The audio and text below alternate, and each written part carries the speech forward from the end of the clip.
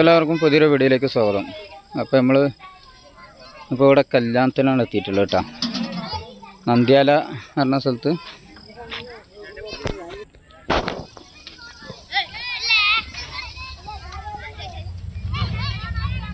അപ്പോൾ നമുക്ക് പിന്നെ ഇവിടുത്തെ വേറെ കല്യാണമൊക്കെ ഒന്ന് കാണാം. ഒരു വെറൈറ്റി കല്യാണങ്ങളൊക്കെയാണ് അപ്പോൾ. നമ്മളെ നാട്ടിലത്തെ കല്യാണം ഇവിടുത്തെ അന്തരത്തെ കല്യാണം എങ്ങനെയൊക്കെയാണ് വ്യത്യാസങ്ങളൊക്കെ ഒന്ന് കാണാലോ. ഇതിപ്പോൾ കല്യാണത്തിന്റെ തലേന്ന് ദിവസം ഒന്നും ചെറിയ പാർട്ടി ഉണ്ട്. നാളെയാണ് മെയിൻ കല്യാണം.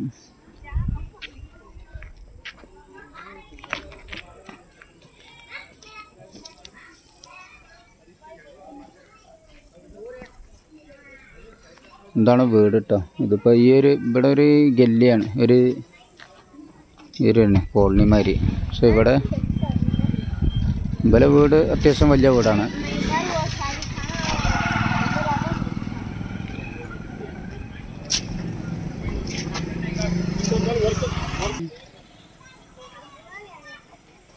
ചെറിയ ഡെക്കറേഷനൊക്കെ ഉണ്ട് പന്തൽ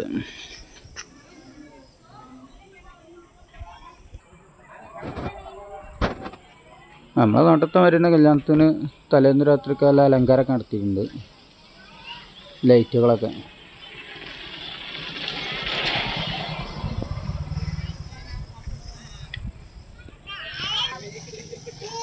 പിന്നെ ഇവിടെയാണ് ചോറ് കഴിക്കാനുള്ള സ്ഥലം. ഭക്ഷണം കഴിക്കാനുള്ള ഭക്ഷണം കഴിക്കാൻ കുറച്ചുകൊണ്ട് ഉള്ളിലേക്ക് പോകണം. അത് മെയിൻ ഗേറ്റാണ്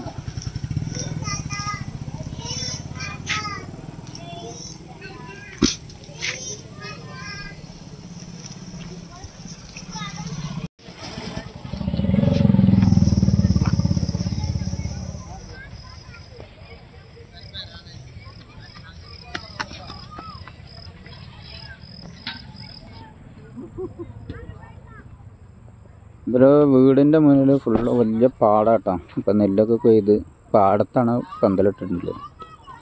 മഴയൊക്കെ വരുന്നുണ്ട്. മഴ പെയ്താൽ എന്തോ അവസ്ഥ മഴ പെയ്താൽ തന്നെ അറിയുള്ളൂ. ഇപ്പോൾ ഫസ്റ്റ് ദിവസമാണ് കല്യാണത്തിന്റെ.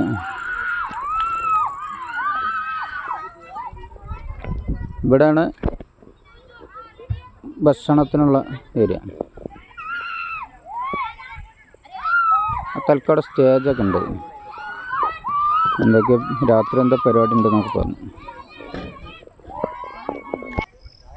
ഇവിടെയൊക്കെ കാണുന്ന കുടിവെള്ളം ഇങ്ങനത്തെ ഒരു ബോട്ടിൽ കൂൾ ഡ്രിങ്കാണ്. ഇതിൽ തണുത്ത വെള്ളം വാങ്ങിക്കൊണ്ടാണ് ഇങ്ങനെ കുടിക്കാനായിട്ട്.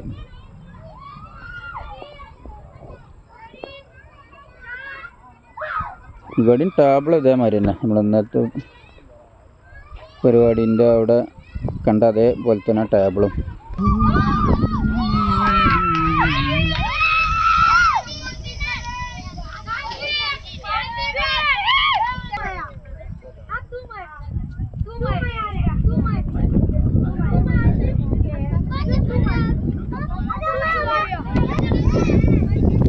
ഇവിടെ രാത്രിക്കൊക്കെയുള്ള ഭക്ഷണം റെഡി ആവുന്നുണ്ട്.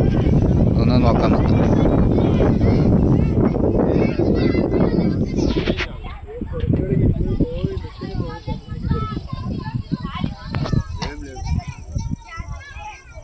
ബിരിയാണി തന്നെ തോണ്ട് ഉണ്ടാക്കണം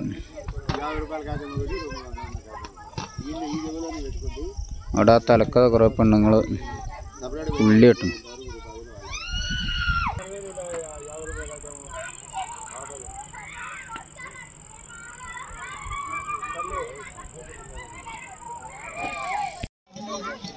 ഇവിടെ ഫുഡിന്റെ പരിപാടി തുടങ്ങിയിട്ടുണ്ട് ഭക്ഷണം കഴിക്കൽ.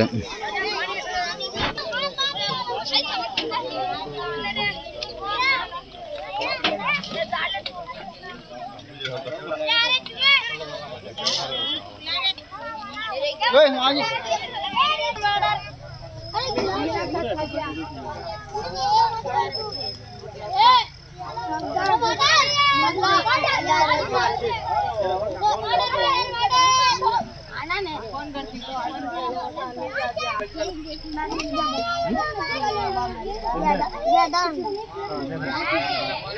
جنا لے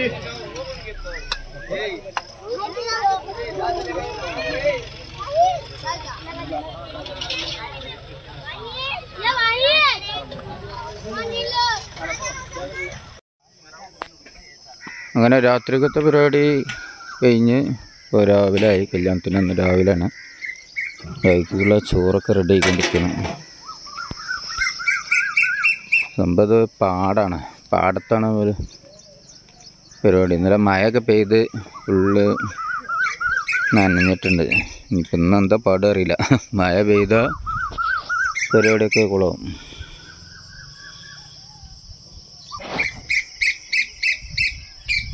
ഒഴിഞ്ഞെടുക്കുന്ന ഏക്കർ കണക്കിന് സ്ഥലം പാടാണ്.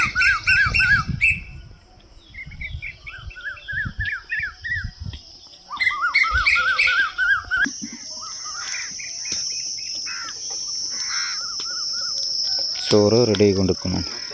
ബിരിയാണിയാണ്. ആട് ബിരിയാണിയാണ്. പക്ഷേ ഇവിടുത്തെ ചോറിന് എന്താ പ്രത്യേകത വെച്ചാൽ നമ്മളവിടെ ബിരിയാണി മിക്സ് ആക്കിയിട്ടല്ല ഉണ്ടാക്കുക അതുപോലെ റൈസ് കറി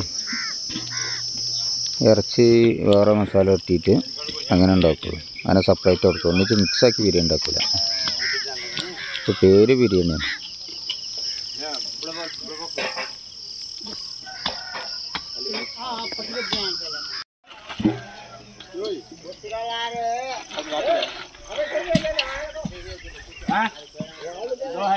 ഇവിടെ ആട് ബിരിയാണിയാണ്? ഇവിടെ നമ്മളെ നാട്ടിലത്തെമാര് ഇവർ ബീഫ് പോത്തൊന്നും പിന്നെ ഉണ്ടാക്കലില്ല പരിപാടികൾക്കൊക്കെ ഉള്ള ആട്.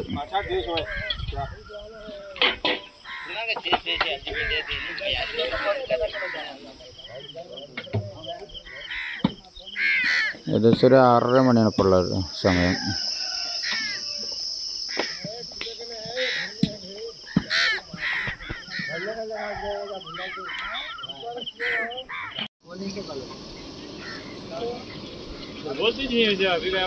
ബിരിയാണിയാണ്. ബിരിയാണി നമ്മളെ നാട്ടിൽ ദമ്മിടണ മാതിരി തന്നെ. ഇത് നില കനലൊക്കെ ഇട്ട് ദമ്മിടും.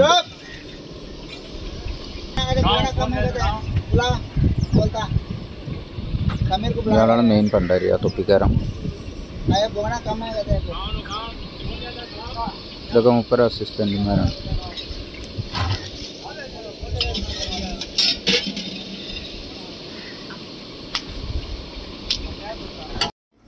കുറച്ച് ഇട്ട് തിന്നോളെ അതുകൊണ്ടേ അതിൽ കുറെ അണ്ടിപ്പരിപ്പ്. അത് കുറച്ച് ഇട്ട് സ്പൂൺ കൊണ്ടേ സ്പൂൺ ടേസ്റ്റ് ആക്കാം.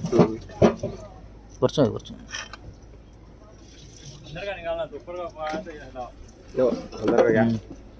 രസമുണ്ട്? സൂപ്പറാ. മധുരമുള്ള. രസമുണ്ടാ? സൂപ്പർ. നമ്മളെ നാട്ടിൽ ശർക്കര ചോറുണ്ടാക്കലുണ്ടല്ലോ. അതാണ് സംഭവം. അതിൽ കുറച്ച് അണ്ടിപ്പരിപ്പ് മുന്തിരിയൊക്കെ ഇട്ടിട്ട് സംഭവം ടേസ്റ്റ് ടേസ്റ്റുള്ള ചോറ്. മട്ടൻ ബിരിയാണി. ഇത് ഇത് ലിവർ മട്ടന്റെ തളച്ചു കൊണ്ടിരിക്കുകയാണ് ഇത് മട്ടൻ പുഴുങ്ങിയെടുത്ത മസാല ഒന്നും ഇടാതെ. ഇത് ഇനി ബിരിയാണിക്ക് ഇടുന്ന പറഞ്ഞു. കോഴി നൂറ് കിലോ. ഇവിടെ ഇപ്പം ഏകദേശം ഇരുന്നൂറ്റി മുപ്പത് കിലോന് ആ ഇരുന്നൂറ്റി മുപ്പത്തിരണ്ട് കിലോ പിന്നെ ആണ് അരി അരി ഉള്ളത്. ഏകദേശം രണ്ടര കിന്റലിന്റെ അടുത്ത് അരി ഉണ്ട്. അതിക്കൊരു നൂറ് കിലോ മട്ടനാണ്. ഇറച്ചി നൂറ് കിലോ പിന്നെ ചിക്കനും. അങ്ങനെയാണ് ഇപ്പോൾ വെക്കണത് പിന്നെ തൈര് എന്താ പോലെ ഇരുപത് ഇങ്ങനത്തെ നൂറ് കിലോ തൈര്. തൈര് ഉണ്ടാവില്ല? നൂറ് കിലോ. ആ?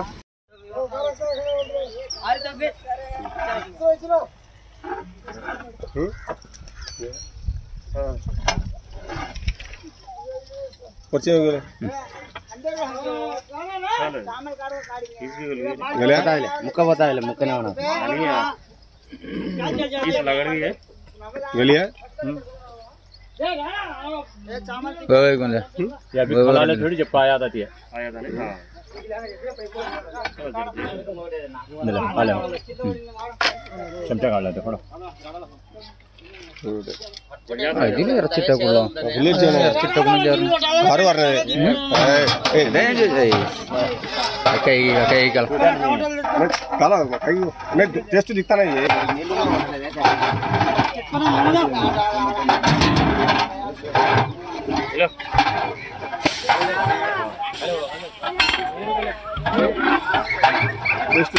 मिलालक डाल लेने में है वो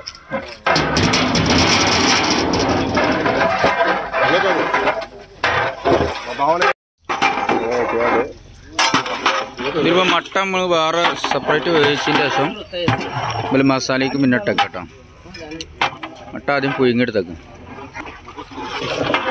ഇനി ഇതിൽ അരി ഇടും നമ്മളെ നാട്ടിലെ ബിരിയാണി വെക്കണ അതേ മോഡൽ തന്നെയാണ് ബിരിയാണി വെക്കുന്നത്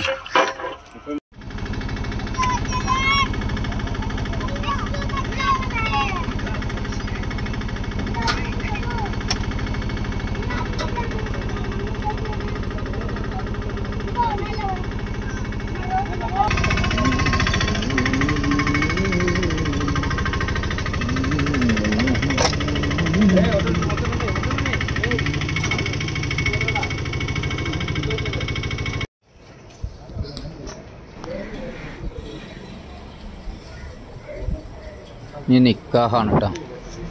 പള്ളിയിൽ വെച്ചാണ് നിക്കാഹ്. നിക്കാഹ് നമ്മളെ നോട്ടത്തെ ഏകദേശം മുകളിലാണ് പക്ഷേ പുതിയാപ്പിള ഭയങ്കര ഡെക്കറേഷനൊക്കെ പിന്നെ മുല്ലപ്പൂവൊക്കെ ഇട്ട് പിന്നെ മുല്ലപ്പൂ കൊണ്ടൊരു കുപ്പായൊക്കെ ഉണ്ടായിരുന്നു മൊത്തത്തിൽ പിന്നെ മുല്ലപ്പൂവൊക്കെ ചൂടിയിട്ടുള്ള ഒരു സംഭവമാണ്.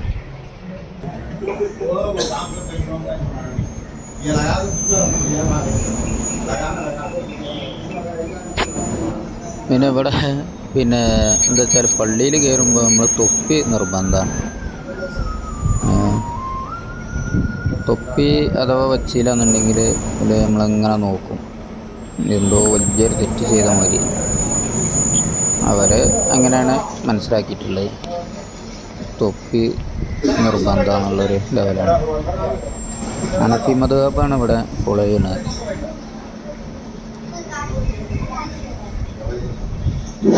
പിന്നെ നമ്മളെ നാട്ടിലത്തെ അവർക്ക് ആചാരങ്ങളും അനാചാരങ്ങളും കുറച്ച് കൂടുതലാണ്. ആചാരത്തിലേറെ അനാചാരങ്ങളാണ് കുറച്ച് കൂടുതലായിട്ട്. അത് ഞാൻ പിന്നെ ഒരു വീഡിയോയിൽ റെക്കോർഡ് ചെയ്തിട്ടില്ല ആ ഭാഗങ്ങളൊന്നും.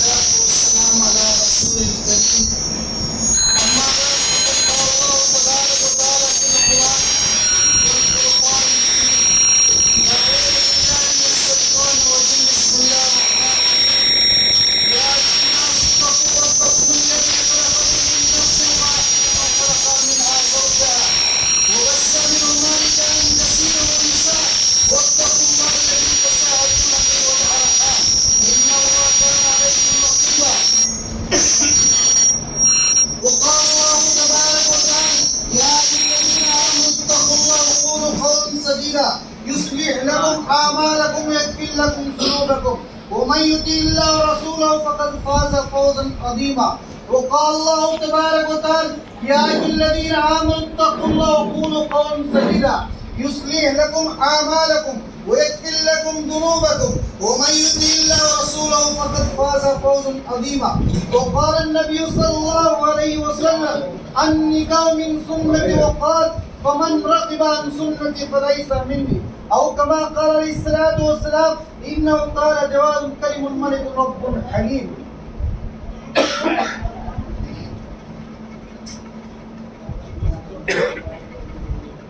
جناب دلہا صاحب، شیخ عرفان صاحب، والد شیخ ذاکر صاحب کے لڑکے، دلہن سبیہ بانو شیخ عبد الکلام صاحب کی لڑکی۔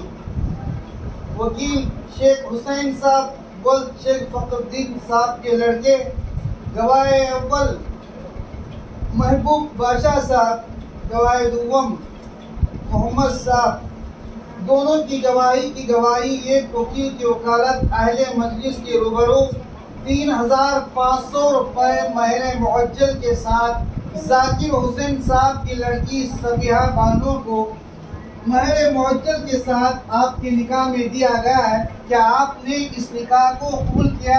الحمدللہ، میں نے قبول کیا۔ کیا آپ اس نکاح سے راضی ہیں؟ کیا آپ اس نکاح سے خوش ہیں؟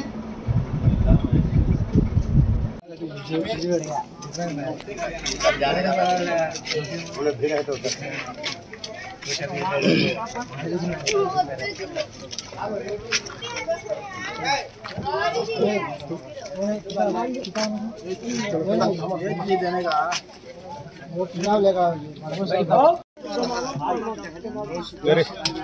ആ പോ പോ.